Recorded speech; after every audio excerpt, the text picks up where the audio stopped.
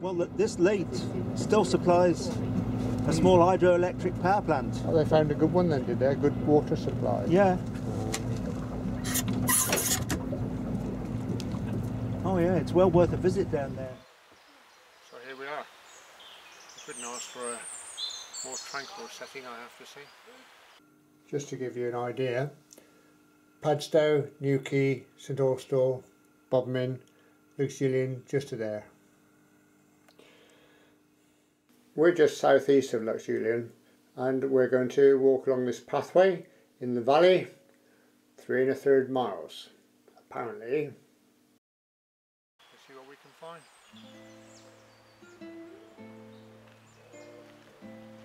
Turn right to the bridge.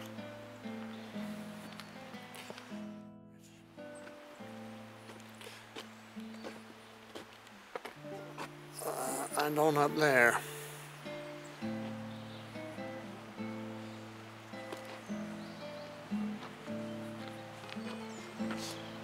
Already there through the trees you can see the central feature, the star of the show, which is a viaduct. The art of the mason. Isn't that beautiful?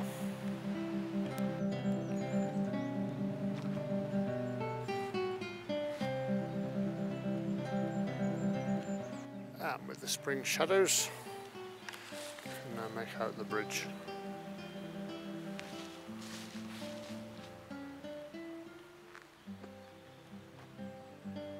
Built in 1839 to 1842. And strangely, although we're on top of a hill here, on top of the valley, uh, there's a sluice.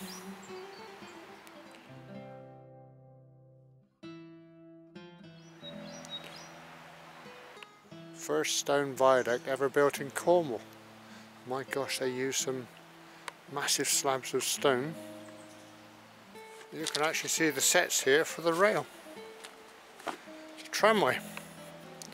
200 metres long and 27 metres high. So that if we pop over here,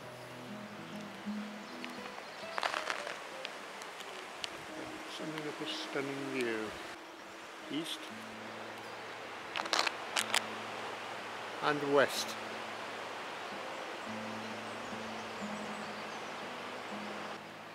It still has a use today, as you can tell from the rail down there.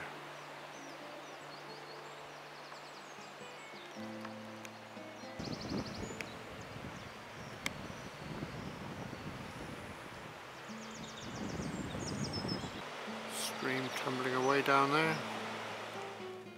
The gorse is having a go at it. And now this side of the bridge, we find another leat. And the reason is that the bridge was actually used as an aqueduct as well as a viaduct for trams. It's actually used to transport water. Amazing piece of engineering. And looking very carefully at the granite sets, look, here you can see where a rail chair sat. In there. These things are positioned every uh, couple of yards on either side lamppost you think? Or drains to get any surface water down into the leat? We now head off in this direction looking for more finds. Before we head off in that direction if we turn to the left here over the top of the first sluice there's another tramway heads off over there stone set still in place whilst in that direction, which lines up with the bridge, you can actually see the water channel for the aqueduct, which explains this sluice. You can see that the channel has been uh, cleared out, so you get an idea of the alignment. The idea of the sluice then would have been to allow the water to run off if they had an excess, I imagine. We head this direction see what delights we find next.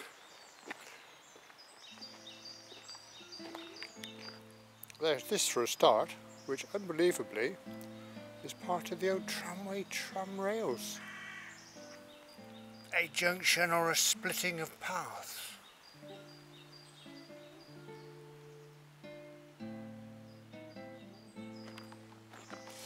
Evidence along the way. A large T on the opposite side which looks something which looks like a K. Is this somebody's boundary marker? Delightful place to walk. Clinging onto the side of a valley here.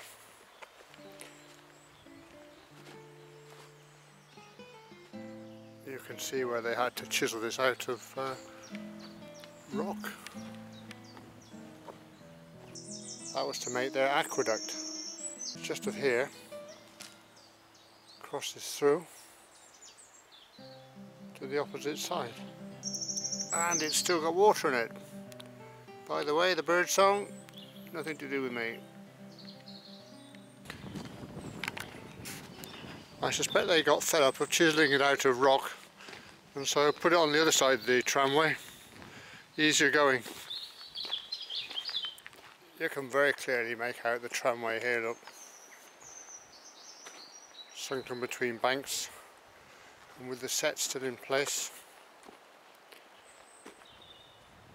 Because it's an early tramway it would have been horse drawn. And there is something I have never ever seen before. It's an original rail chair. If I put my hand in it you can see it's very narrow so that would have been a tram rail railway rail, see what I mean?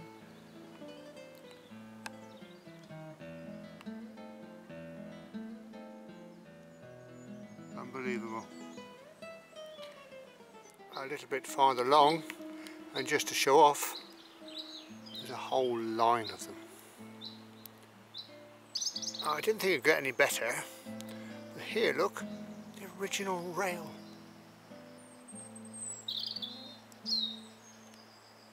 How amazing is that?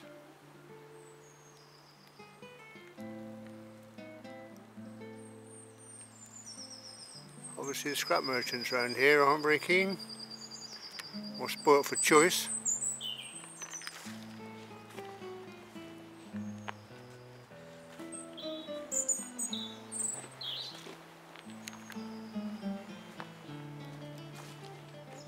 I hope this comes out as pretty on the film as it is actually being here.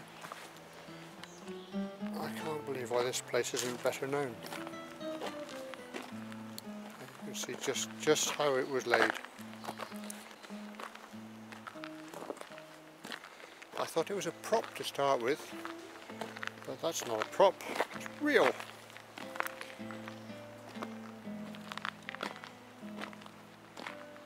I didn't notice where this happened, but the leat has changed sides again. Obviously the other side was just as difficult then. Still carrying water to this day. 1840 that was built.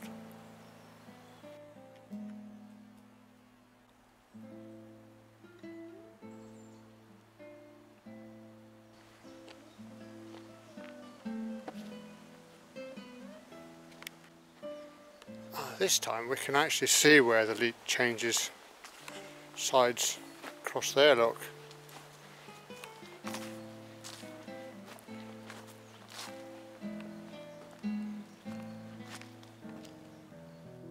another convergent divergent crossing here look. And looking very closely you can see where the trucks sometimes want to go the other way and we're wearing into the rail. So we're now heading off along here Here's the leat coming along from the way we've just come from. And here you can see one of the purposes for it. It turns and goes under the bridge and then shoots out over there over what would have been an overshot water wheel. Unbelievably the main part of it's still here. 1842 the mill was constructed. I don't know whether that was the original construction or not.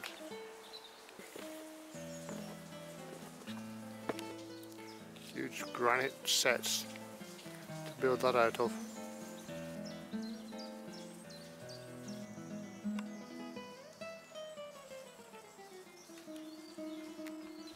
I've truly never seen anything like it. Huge mill, basically in the middle of nowhere. Pitch for the millstone right alongside, complete with all the gear. Same on the opposite side, so that had a lot of power because it's driving four grindstones basically, millstones. And you can tell by the size of the bolts everywhere that there used to be some huge timbers here at one time supporting the rest of the mill I guess.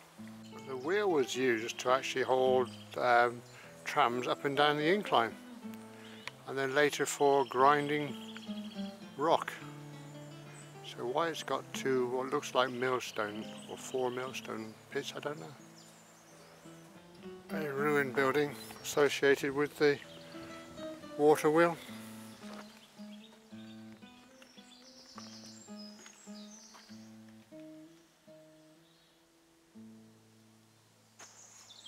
and another one what is above the incline so it might have been a signalling station. Huge chimney in it. Must have been a cold place to work. The telltale for me is this little window which looks down the slope down the incline where the trams would have come trundling up. And where we go trundling down. By tramway. I'm not sure I'd feel happy waiting at the bottom of the incline for these things to arrive, just in case. They weren't about to waste the water because they contained it in a litre again, brought it along here. Took the opportunity to top it up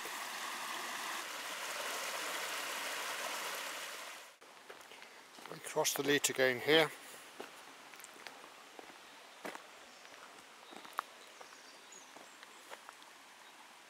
and then head uphill. It's a bit unkind.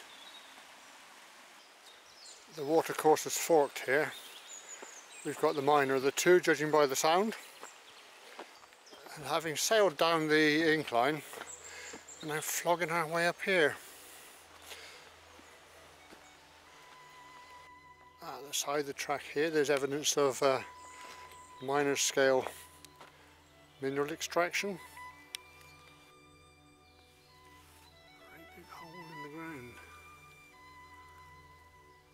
Near enough alongside a forest giant. Size of that thing.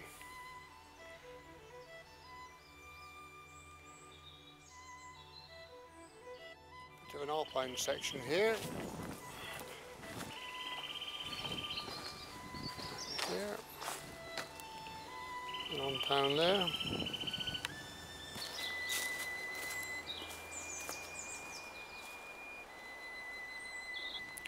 across the Leat which is uh, about the 10th mile of this three mile walk I think. And continue downhill. All downhill has to be paid for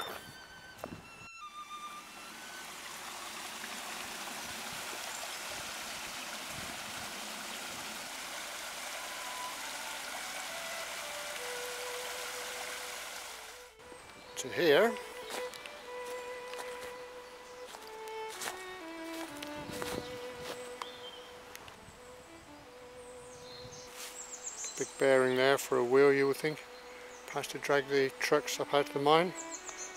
It's the Prideaux wood mine. It stretched right across to the other side of the valley. Started in 1813 opened in 1813 the other side of the valley for reference is um, over there somewhere. Some ancient bit of metalwork tucked away here. Bit of mining history we've done all that bit, up there, down there, we're about there now. We now continue on down. There. I don't like all this downhill, it's going to be paid for somewhere. Mind you, I don't like the uphill either, so slightly difficult.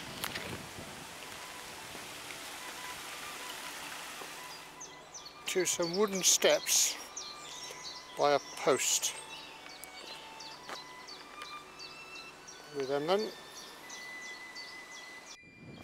Down there, glimpse through the trees every now and again, you get to see the rail line that we saw going under the viaduct at the start. Gives you some idea of where we are height-wise, about halfway. Huge great rocks here uh, above the path. Corn was built of, I guess, granite. Quite a bit of it on the path as well.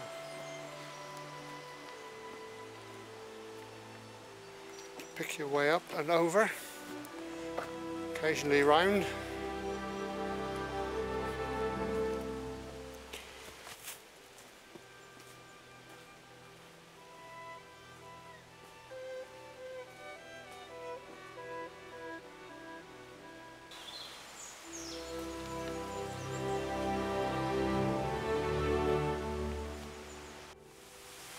It sure is pretty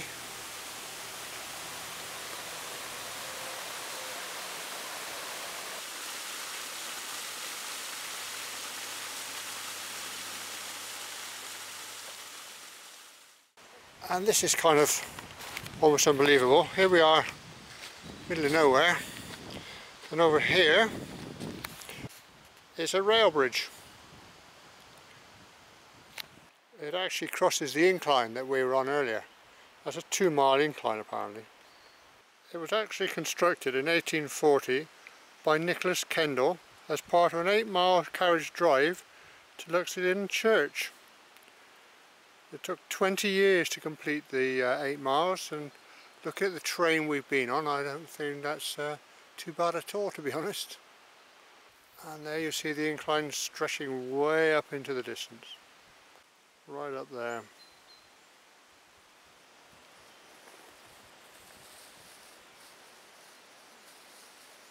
Finish today, no cheese and pickle. Diet day. Orange.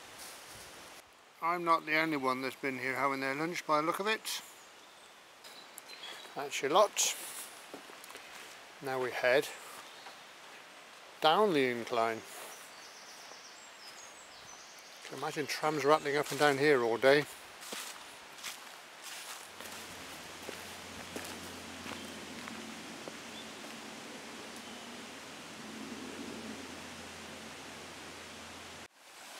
Never far from a leat on this walk.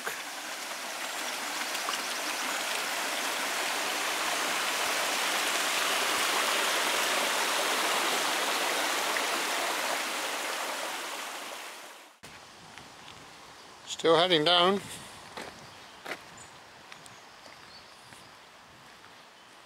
Granite sets for company. The consequences, of course, if you can see it that is, the railway's now up there. Uh, that's a bit late now. The incline ends just of here. That's it clawing its way up the valley.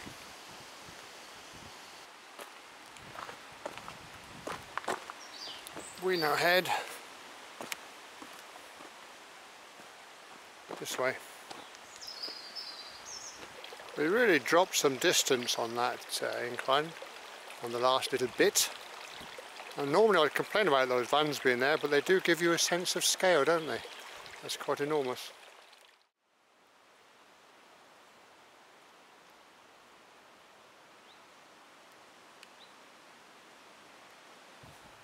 Oh, that's large scale engineering, isn't it? With a decorative bit on it.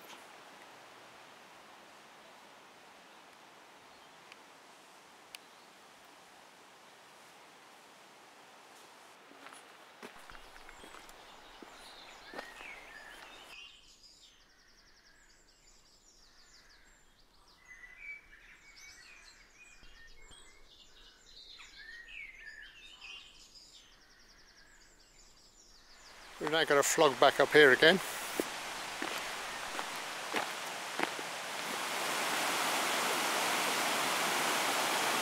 Our leat now become a river.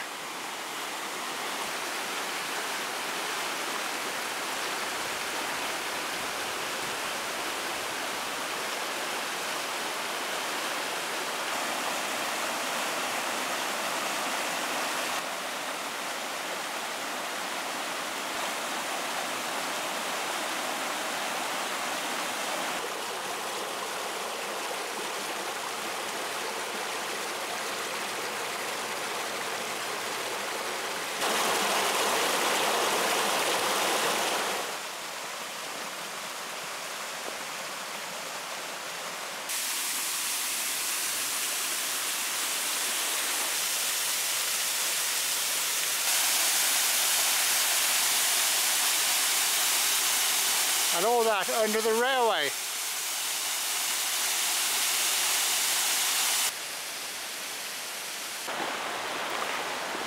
Over the river once again.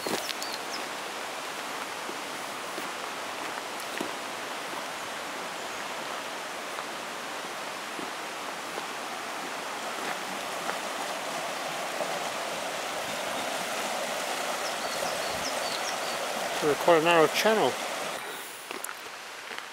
some more industrial archaeology besides the path.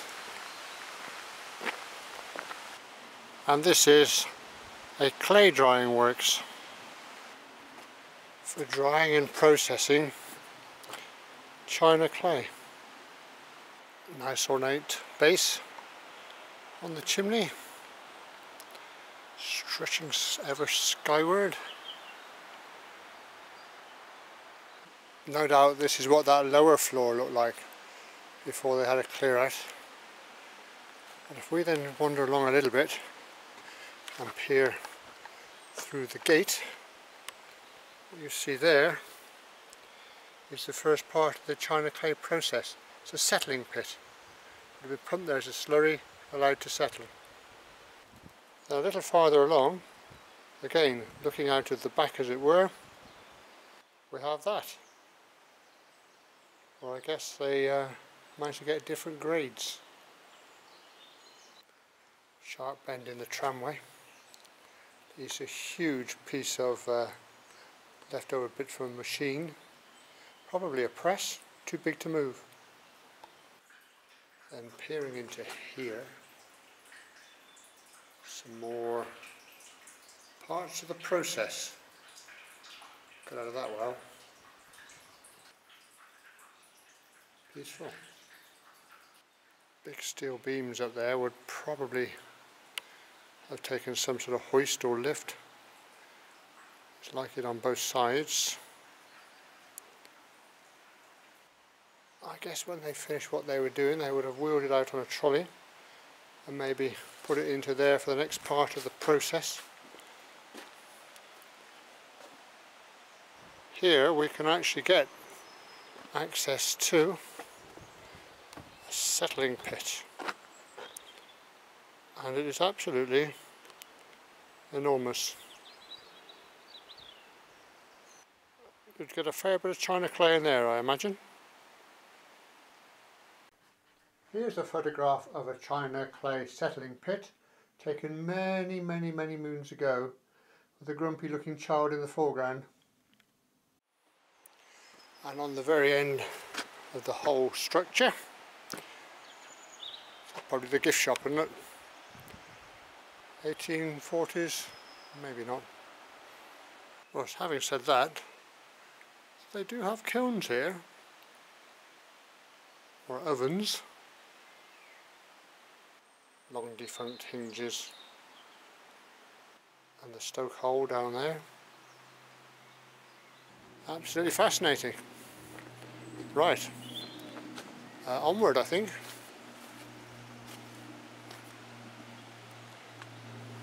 Up there.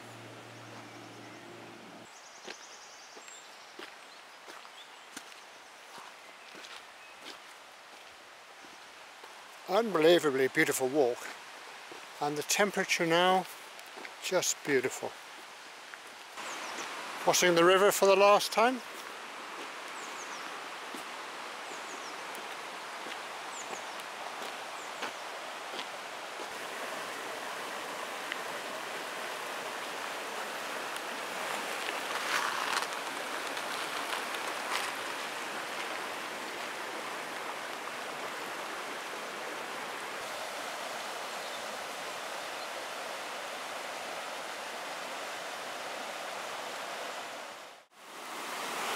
It's very difficult to give up and stop filming this thing.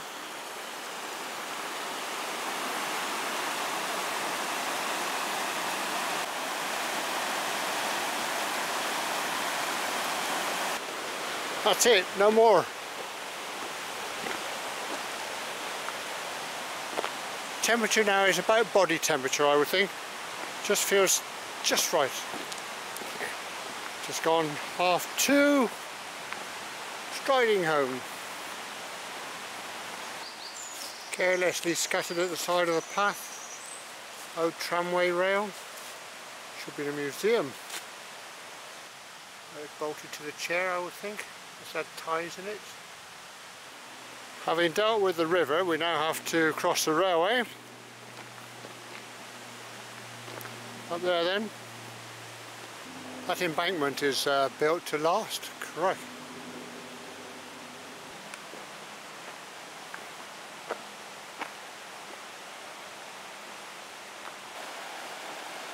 Swapping sides again.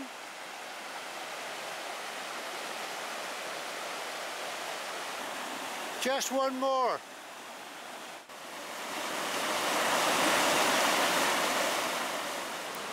Whew. Man oh man.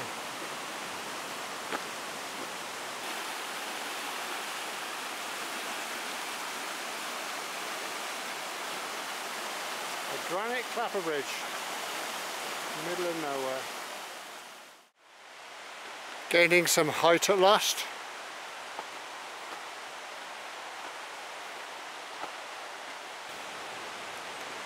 Finally,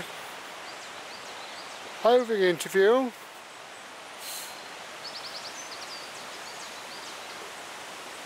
Now that is what you call a viaduct. And an aqueduct, don't forget.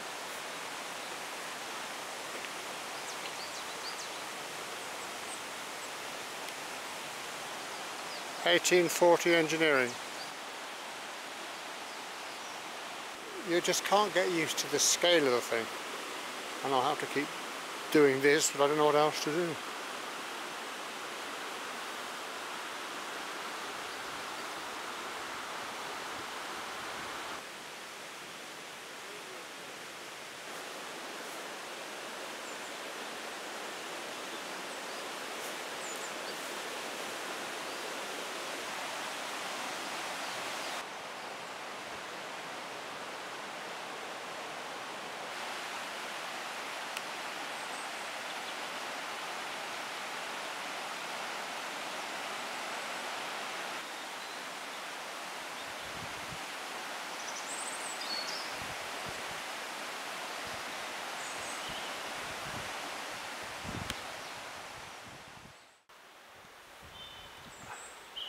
Well done David. Brilliant walk. Thank you very much. See you on the ferry.